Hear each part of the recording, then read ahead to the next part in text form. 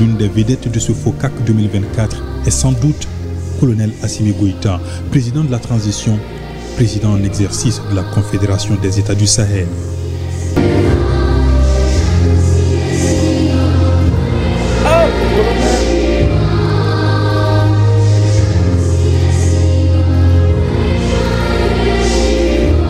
Au son d'une musique de bienvenue, le président Xi Jinping partage un moment convivial avec l'ensemble de ses invités de marque. Une chorale des tout-petits était là également pour saluer la présence des dirigeants africains en terre chinoise. Le tout dans un décor majestueux avec un spectacle impressionnant.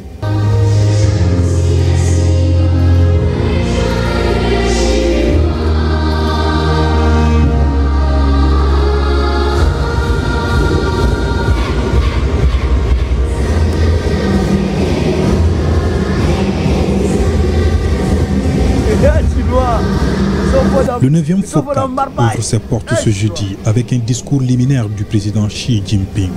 Il devrait annoncer un nouveau programme de coopération visant à promouvoir la modernisation de l'Afrique à travers un partenariat gagnant-gagnant. En marge du FOCAC, le président de la transition a reçu en audience le président de la Mauritanie, Mohamed Ould El Ghazouani, celui du Togo, Fornia Singwe et Faustin Archons Touadira de la Centrafrique. Avec ses homologues, il a été question du renforcement de la coopération bilatérale entre le Mali et ses pays, occasion pour le président de la transition de partager le triptyque de la politique étrangère malienne. Le point avec nos envoyés spéciaux, Yanyalou Traoré, Sidiki Balou. Le Mali et la Mauritanie sont deux pays frontaliers. À Nouakchott comme à Bamako, les communautés maliennes et mauritaniennes vivent en parfaite harmonie, et c'est là depuis des millénaires. Présent en Chine pour prendre part au FOCAC 2024, le numéro 1 mauritanien et le président de la transition, le colonel Assimi Goïta, ont eu une entrevue. Les deux personnalités ont passé en revue les rapports de coopération et parlé des perspectives de projets communs. Ils entendent renforcer la coopération militaire, diplomatique et commerciale entre nos deux pays. Une autre rencontre de taille dans l'agenda de la journée de ce mercredi du président de la transition. Le colonel Assimi Goïta retrouve son frère du Togo, le président fort Ezozima Nyasimbe. Le Togo, sous le leadership de son président, s'est beaucoup impliqué dans les différentes médiations au Mali. Lomé et Bamako ont une convergence de vues approfondie sur des questions d'intérêt commun d'ordre bilatéral et régional. Durant leur entretien, les deux présidents se sont montrés très ouverts et favorables au bon maintien des relations de fraternité et d'excellente amitié entre nos deux pays. Faustin Archange Touadéra, président de la République centrafricaine, a bouclé cette série d'audiences du président de la transition. Les deux hommes d'État ont passé en revue les points de collaboration futurs entre les deux nations. Tout comme le colonel Assimi Goïta, le président Touadéra est venu prendre part au FOCAC 2024.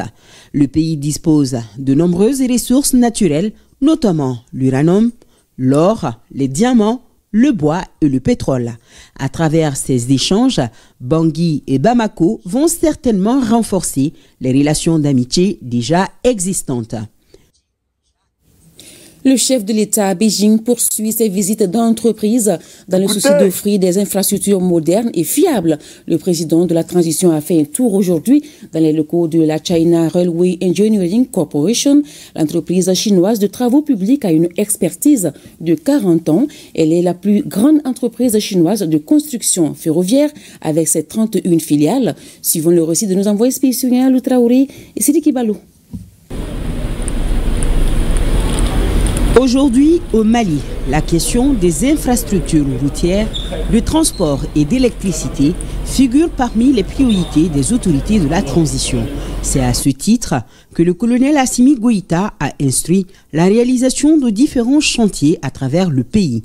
Le dernier en date est le lancement à Bamako de la RN27 pour un coût de réalisation de plus de 33 milliards de francs CFA. La liste n'est pas exhaustive car la même volonté prédomine aussi dans les régions. Et pourtant, le président de la transition ne veut pas s'arrêter en si bon chemin. Pour lui, le développement de ces infrastructures favorisera la croissance économique et l'inclusion sociale, d'où sa visite ce mercredi matin à Beijing en Chine, au siège du groupe China Railway Engineering Corporation, CREC. L'entreprise chinoise de travaux publics a une expérience avérée de plus de 40 ans. Elle est plus connue au Mali à travers l'une de ses filiales qui n'est autre que la COVEC.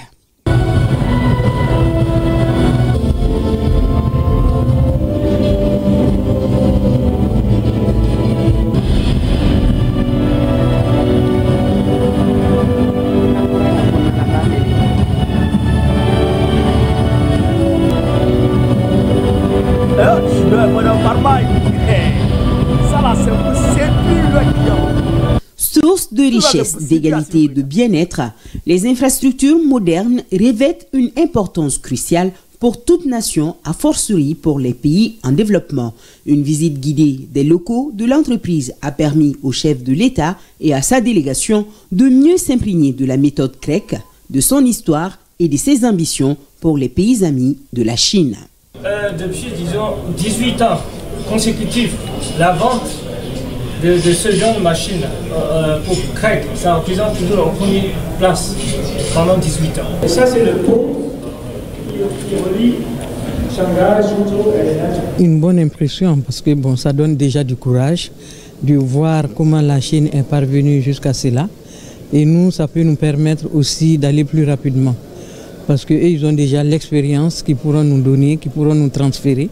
Surtout le président de la transition a beaucoup insisté sur les transferts de compétences et c'est ce qu'on recherche, même quand on fait les projets sous forme de BOT. C'est justement pour bénéficier de ces transferts de compétences. Le temps qui reste à faire, euh, à exploiter justement ces, ces projets, ça donne également aux Maliens d'acquérir une expérience et d'avoir leurs compétences. La priorité de l'heure pour les autorités de la transition, c'est de soutenir des projets de construction ou de remise en état d'infrastructures qui soient viables, économiques et écologiques, inclusifs, résilients et sûrs. La China Railway Construction Corporation est un peloton de tête, en atteste sa troisième place parmi les plus grosses entreprises de construction mondiale. Dernier contrat en date est celui signé avec le royaume chérifien. Notre pays emboîte donc le pas au Maroc avec la signature d'un protocole d'accord. Nous avons signé trois protocoles d'accord avec la société COVEC qui porte sur des adductions d'eau au niveau du Ségou et réaménagement des adductions d'eau de Kati à Bamako et au niveau du Samaya pour l'adduction d'eau de Bamako même. Ce sont ces trois mémorandums qu'on vient de signer actuellement et qui portent sur un budget à peu près de 107 milliards de francs CFA. La réalisation de ces projets est prévue très prochainement. Sur place, d'autres ont inspiré le chef de l'État, tel que la salle de maquette qui présente une ville moderne où toutes les commodités inhérentes à notre harmonie sont prises en compte. Bamako peut le devenir très bientôt. En tous les cas, le souhait est visible sur le visage du président de la transition, le colonel Assimi Goïta. Ça, c'est le bon. Eh, Goïta Eh, non, c'est un 10 Non, c'est un chef Non Vous avez vu, non? Les Chinois ont fait leur démonstration, mais lui, il est camé. Lui, il est camé. Il dit, ouais, c'est bon, c'est bon. Mais on va, on va construire la RN 27, 33 milliards. Comme on dit RN là, faut pas vous, faut pas voir ça des thèmes techniques. RN, ça veut dire route nationale. La route nationale, les routes qui, qui relient les grandes villes. C'est ça qu'on appelle les RN, les routes nationales. Voilà. Quand on dit A86, A500, A tant, c'est-à-dire que autoroute numéro tant, tant, tant. A86, ici en France, la A86, ça va partout. La AB6, qui, qui va aussi dans le 91 et tout. C'est comme ça qu'on identifie les routes. Donc, quand on dit RN là, c'est route nationale, ça va prendre Bamako pour aller quelque part là-bas. Je crois c'est goût quoi. Vous avez compris ça? Voilà. Maintenant, elle dit adduction d'eau. Adduction d'eau. Quand on dit adduction d'eau, n'allez pas juste loin. c'est robinet. Voilà. Les, châteaux d'eau, là, ils vont mettre ça. Peut-être qu'il y, y, en a qui ne fonctionnent pas bien.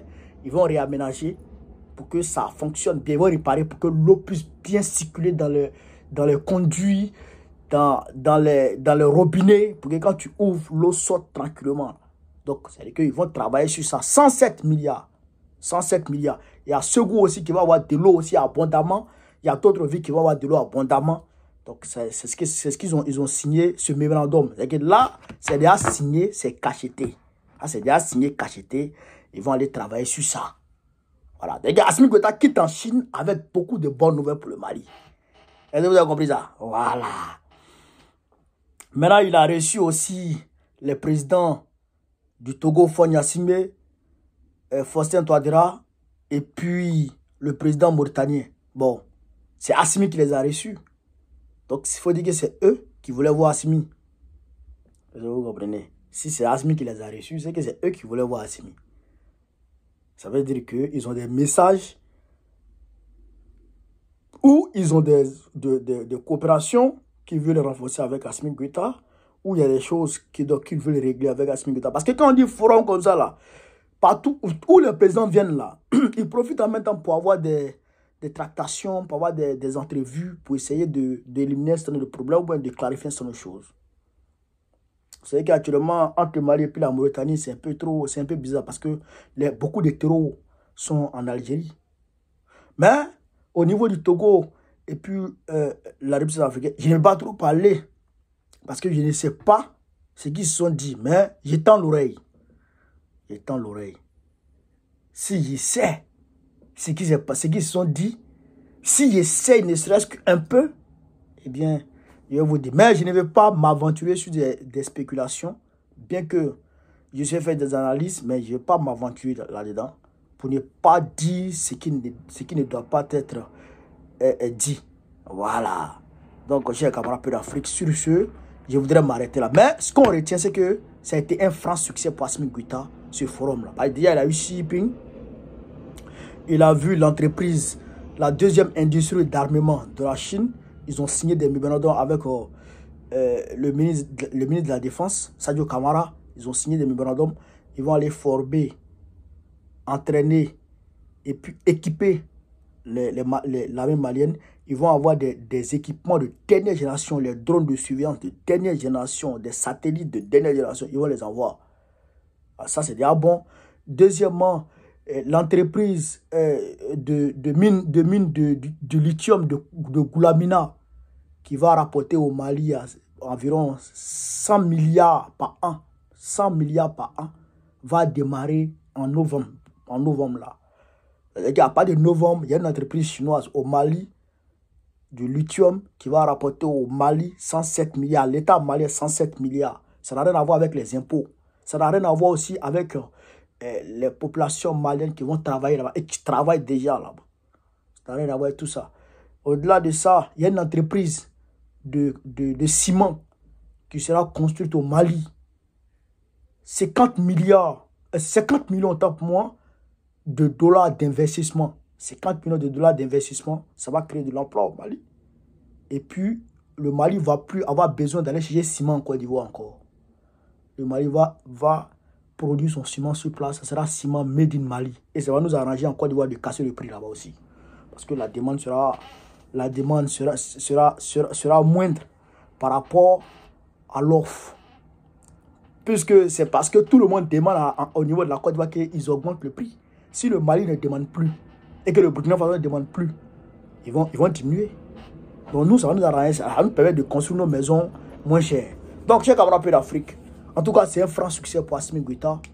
Et je salue aussi les présidents africains qui sont partis. Pas mal. Pas mal. Ils ont quand même eu le courage d'aller. Pas mal. Voilà. De toute façon, vive l'Afrique libre. Vive le panafricanisme.